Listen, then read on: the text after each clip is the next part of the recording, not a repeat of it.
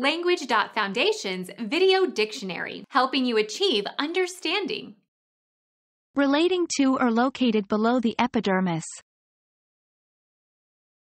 Subcutaneous implant. Hypodermic. Become our student and get access to effective and free educational materials.